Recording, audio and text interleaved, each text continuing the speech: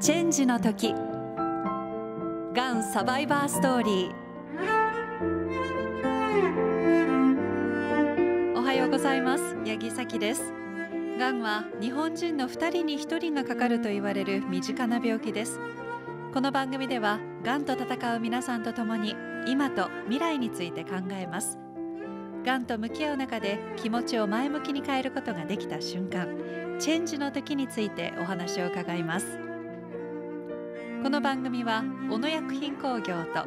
日本対がん協会の提供でお送りいたします。早速ゲストの方をご紹介しましょう。文筆家エッセイストの岸本陽子さんです。おはようございます。おはようございます。岸本陽子です。よろしくお願いします。簡単にプロフィールご紹介いたしますね、はい、岸本陽子さんは1961年神奈川県は鎌倉市のご出身です1984年大学を卒業後一般企業に一旦入社されるんですが勤めていた会社を辞めるという決断をし中国留学を経て文筆生活に入られまして食や暮らしのスタイルの提案を含む生活エッセイや旅を題材にしたエッセイを多く発表されます。そんな中2001年に虫垂がんであるというふうに診断をされまして手術を受けていらっしゃいますがその手術治療体験を書いた「がんから始まる」を2003年に出版。その後も旺盛な文筆活動を展開しています。また日本対がん協会の評議員も務めていらっしゃいます。虫垂がんっていうのは当時も今もなかなか聞き慣れないという方も多いのかなっていう印象ですがいかがでしょうか？はいとても珍しいがんです。見つかるまでどういった経緯があったんでしょうか？はいあのとても長くかかりました。病気が見つかったのは2001年10月です。ですがその1年ほど前から時々腹痛と発熱がありました、はい、で病院に時々行っても原因がわからない。でもやはりこうお腹の周りにあの何かこう不調があるのだろうから一回あの腸のレントゲン腸にバリウムをね入れて取る、レントゲンをしてみたらどうかということであのしてみて大腸がんと分かりました。で虫垂がんという診断がついたのはその大腸がんですと言われて手術した後のことです。ということは、はい、調子が悪くなってがんっていうその病名がつくまで1年ぐらいかかったんですはい1年数ヶ月かかりました。あそうですか、はい、あの私のはとても珍しいケースです。その腹痛や痛みが起きたのも虫垂がんに併発して虫垂炎を起こしていたためだったそうです。後で分かりました。ですのであのラジオの聞きの皆さんがあのあ腹痛と発熱があったら虫垂がんなのねって思わずにとにかく普通のがんの検診を、あの年に1件受けていただければいいなと思っています。そうですね、はい、2001年ということは40歳はいそうです。ねその時の心境っていうのは覚えていらっしゃいますでしょうか？そうですね、うん、まずあの驚きです。あの虫垂がん以前に大きな病気は全然したことがありませんでした。で毎日あのよく食べよく眠り、はい、休まず仕事に行ってお酒もタバコもたしなまないという生活でしたのでまさかあの自分ががんとは思いませんでした。そうですね、はい、家族にもおりませんでした。そうですね。あの今でこそがんはこうやって治しながら共に生きる病気っていうふうに感じられるようになりましたけれども2001年当時っていうのはどういった感じだったんでしょうか？やはり死につながるイメージが今よりもあの強かったと思います。がんと共に生きるという打ち出し方はあまり聞いたことことがありませんでした。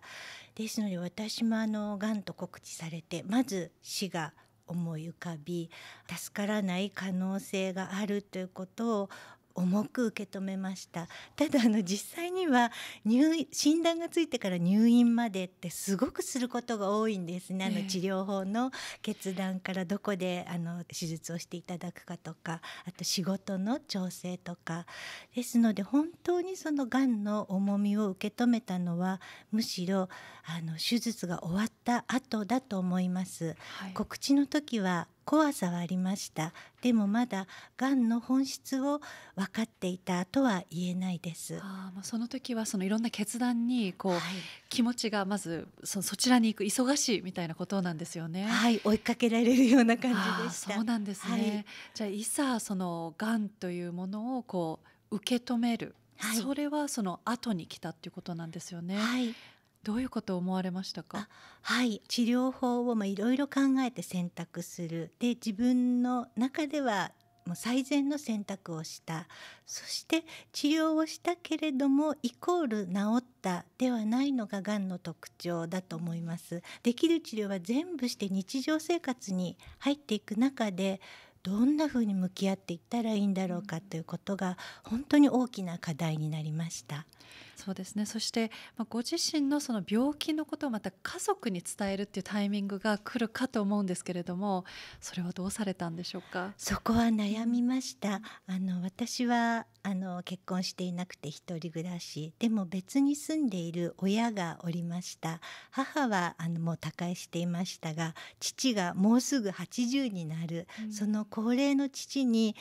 娘ががんだっていうことをどう伝えるかなできれば伝えたくないけれどもあの手術などの同意書に、まあ、誰かしらのこうサインが必要その時にやっぱり隠してるわけにもいかないなとでどのタイミングで伝えるか本当に迷いました。告知を受けてでもこの治療をこの病院で受けますから大丈夫ですっていうところまであの段取りを整えた後でようやく報告しました。そうですね高齢のお父さんを心配させたくないっていうところでこういう治療を受けるから大丈夫だよっていう報告をされたんです、ね、そうですね。あの癌になりましたどうしたらいいでしょう？ではなく、あのこ私はこういうまあ選択をしてまずやってみるから安心してくださいという、まあそれも親の年齢にもよりますよね。あの若くて。あのまあ、親が働き盛りでいろいろなこう情報を集める、まあ、こう方法を持っているあるいは人とのつながりがあるという方は親を頼っていいと思います。うん、また私はあの高齢の父だったのでどちらかというと私が守るという気持ちでいました。でも親って伊達に年を取っていないというか、はい、まあいろいろな経験をしていて、あの後になってもう少しこう正直に話してもよかったかなと思いました。そうですか。父もあの昔の人なので何回も死にかけているというか結核になり心臓病になりそして戦争も経験しています。もっとあのこう頼ってもよかったのかなとちょっと思います。なるほど。人のこう生命に対する、まあ、経験だったりとかっていうのは、まあ、命に関する会話が実はできた。はいできますできると思います。で後になって私と同世代でまあ癌で亡くなった人のご両親と話す機会がありました。でやっぱりちょっと頼ってほしかったっていうかもう娘がギリギリまで隠していたのが寂しかったっていう声を聞くとうんなんかいろいろだなと思いました。そうですね。やっぱ家族がまあ知ってくれているっていうだけでも心の支えにはなったんでしょうか？はい。あの知っている自分の状況を知っている人がいるっていうのがそのまずは大変な支えです。あのサポートっていうとついね何をしてあげようかって思いがちですけれども、はい、あのそうした行動以前に状況を分かってくれている人がいるんだっていうこと、うん、それは大変患者にとっては大きいことです。こちらに来られるゲストの方もその病人扱いではなくってこれまでのその家族のその接し方が変わらなかったことが励みになったっていう方も大勢いらっしゃいますが陽子さんの場合はいかがですか？あの今日本当にまさしくそうです、えー、あの私もこうがんの後まあいろいろ食事にこうこれをちょっと気をつけてみたいな、うん、昔は何でも食べる人だったのが、えー、食べるもの食べないもの出てくるんですね、うん、でもその時、まあ、お正月とかお盆とかに家族が集まる時に私に合わせないんですね。その私の食べないものを私の前で平気で元通り 食べている。それがすごくね救われましたね。みんなあのこう陽子ががんだからとか言ってみんなも好きなもの食べなかったらもう本当に居づらかったと思います。あなるほど、はい、そうですね。私のためにみんなが我慢している状況っていうのはやっぱ辛いところもあるってことですね。そうですね。あの自分の病気によって家族は何も失っていない何も諦めていないってことが本当に救われました。はあ。どうでしょうか？こう体調の変化っていうのは感じられましたか？術後の治療っていうのもずっと続くんですよね？手術で終わりってことではないんですもんね。はいそうです。抗がん剤もあの処方されていました。でもそれはあの飲み薬であって点滴ではなかったんですね。あまりあの大きな体調のこう変化はあのもたらしませんでした。そうですか、はい、手術自体は中水と大腸の一部を切除されて、はい、その後のその経口の抗がん剤を処方されてその後飲み続けるとい。うことだったんですね、はい、この抗がん剤はどれくらい飲まれたんですか？その後。えーと、5年間処方されていたんですけれども。点滴よりはちょっとこう日常生活にはちょっと寄り添ってくれてる感じがするんですけれども、まあ、手頃ではある飲みやすい。あの量が多分点滴で入れるのと少ないので、まあ、作用の仕方も穏やかだと思います。そうなんですね、